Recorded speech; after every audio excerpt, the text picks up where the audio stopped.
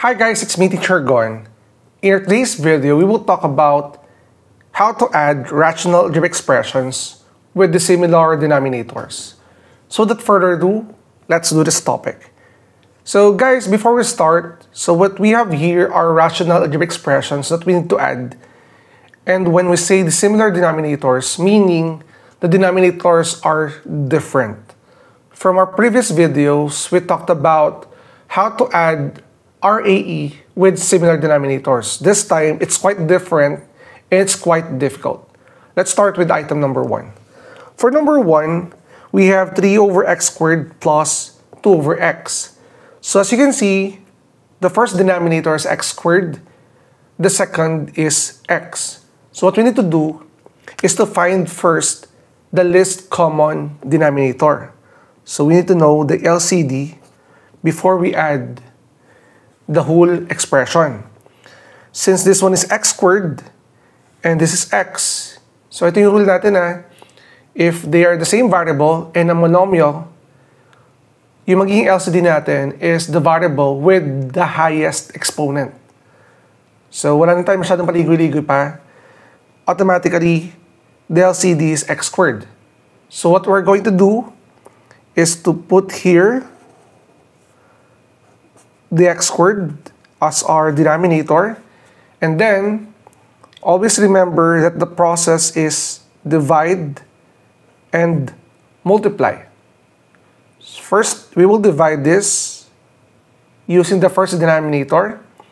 x squared divided by x squared, it goes like this.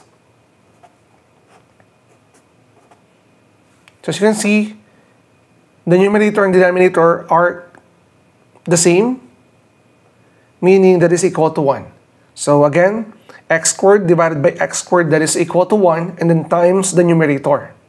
So again, x squared divided by x squared is 1 times 3, that would be 3. Then plus, and here, sa second fraction natin, we have x squared divided by x, goes like this, x squared divided by x, that would be x only and then multiply it by 2 again, the correct answer is 2x. So as you can see guys, what we have now is the numerator 3 plus 2x over x squared.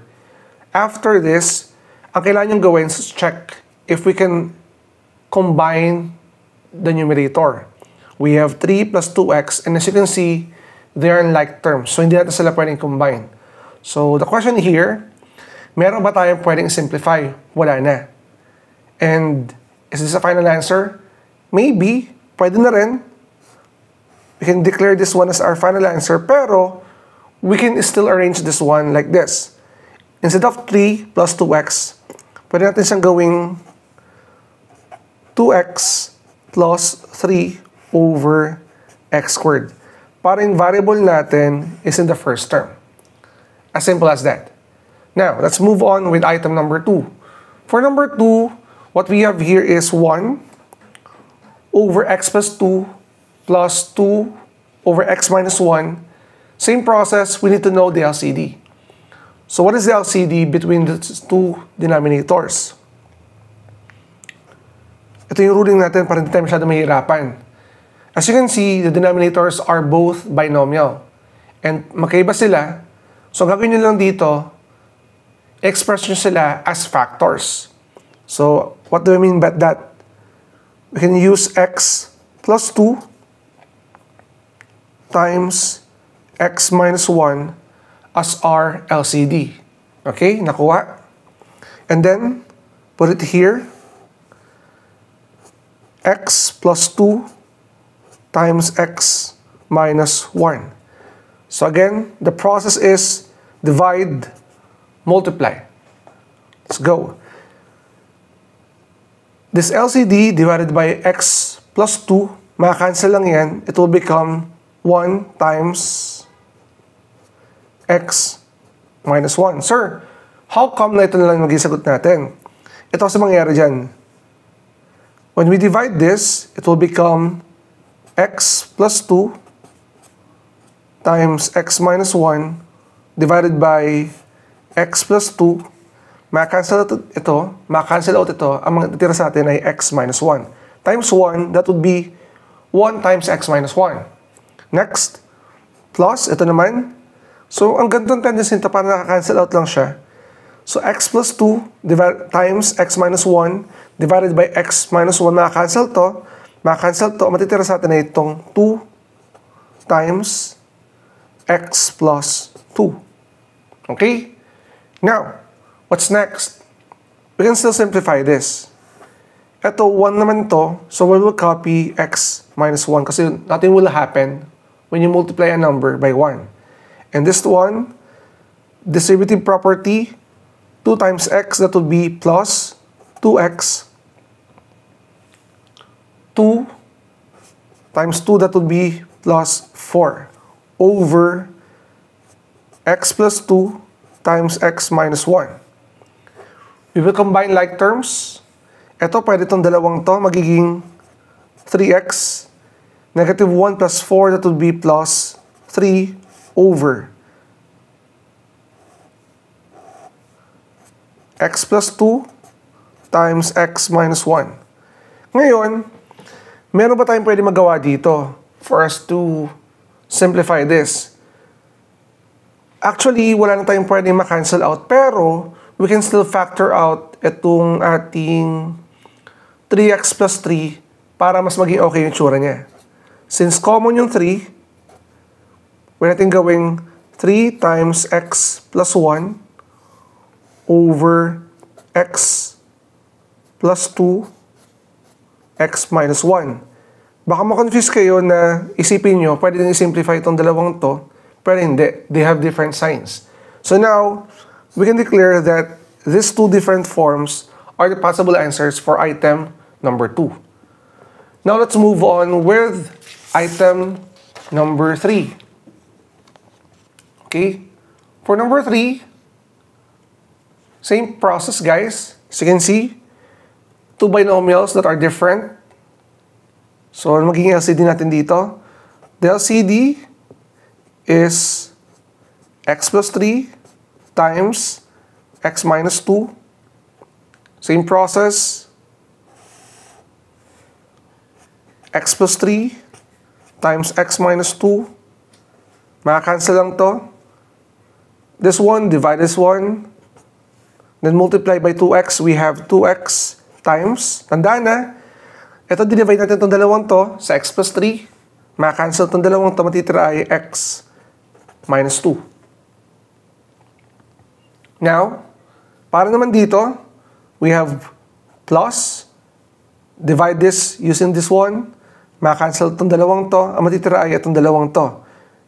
x plus 3 times 3x plus 4. Now for this, distributive property, magiging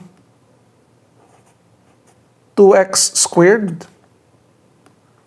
Ito naman, minus 4x. And for this, guys, let me use a sheet of paper para sagutin ang ilalagay natin dito. We will use distributive um, FOIL method, x plus 3 times 3x plus 4. x times 3x, that would be 3x squared. x times 4, that would be plus 4x. Ito naman, 3 times 3x, that would be plus 9x. Then 3 times 4 plus 12. Simplify.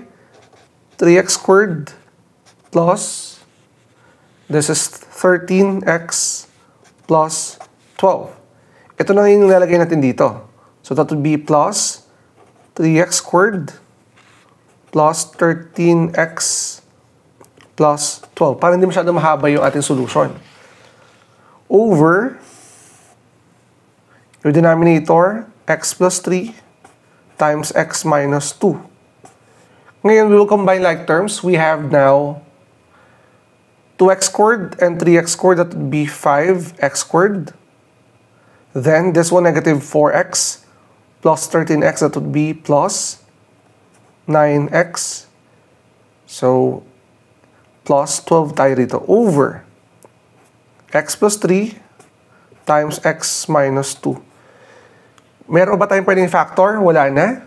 So we can declare that the correct answer for item number 3 is simply 5x squared plus 9x plus 12 over x plus 3 times x minus 2. Now, what about this one?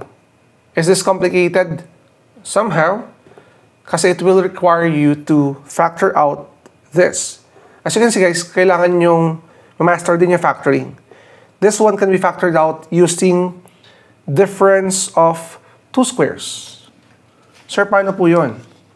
So, let me get some paper here para malaman nyo kung paano siya gawin. Okay, as for the paper, so what we need to do here is to get the factors of this one. Yung ating x squared minus 9 can be factored out using difference of two squares. So ito yung magiging x minus 3, then x plus 3. Kinuha ko lang square root na to, which is x. Square root to which is 3, and then minus plus or plus minus. So what about this one? Yung ating namang x squared minus x minus 6. Pwede siya maging factored as x minus 3 times x minus 2. Ngayon, pakita ko sa inyo dito sa baba. Gagawin natin dito, we will copy this one, 4 over x minus 3 then x plus 3 plus 2 and then ito naman x minus 3 times x minus 2.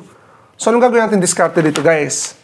Ngayon, Kapag napansin nyo na puro sila binomial, tapos may parehas, ito sa ito, we will count that one as a single. Okay po? So, lagyan natin dito yung LCD natin sa pinakailalim. Punta natin yung mga may parehas. Ito sa ito, hindi mo siya ilalagay as factors ng dalawa. Gawin lang siyang as 1 bilang x minus 3. Next, yung walang kaparehas itong dalawang to. Copyin nyo x plus 3 then x minus 2. Ngayon, let's divide. Again, divide, multiply. These three factors divided by these two factors, ang matitira na lang ito. So we have 4 times x minus 2. Okay tayo doon? Kasi makakancel out itong dalawang to. That's why we have 4 times x minus 2 plus ito naman, this one to this one, Ma-cancel itong dalawang to kasi para sila. So we have 2 times x plus 3. Okay? Now we will simplify using the distributive property. This is 4x minus 8. Am I correct? Yes. Dito naman ay plus 2x plus 6. Gumamit ang distributive property over. Copy this 3. X plus 3 nang lalagay ko dito. Then x minus 3. Then x minus 2. Simplify your numerator. So let me adjust the paper. 4x plus 2x, that would be 6x. This, we have negative 2. Okay. And then over x plus 3, x minus 3, x minus 2. Ngayon, pwede pa natin simplify. Yes, pwede naman natin i-factor out to kung kaya. Pwede siya maging 2 times 3x minus 1. Kung pansin nyo, wala natin maka-cancel out over x plus 3, then x minus 3 times x minus 2. And these are the possible values of x. That's it guys. So I hope guys you learned something from this video on how to add rational algebraic expressions with the similar denominators. Guys, if you're new to my channel, don't forget to like and subscribe at hit na rin bell button for you to be updated sa ating latest uploads. Again, it's me, Teacher Gon. Maraming maraming salamat and bye-bye!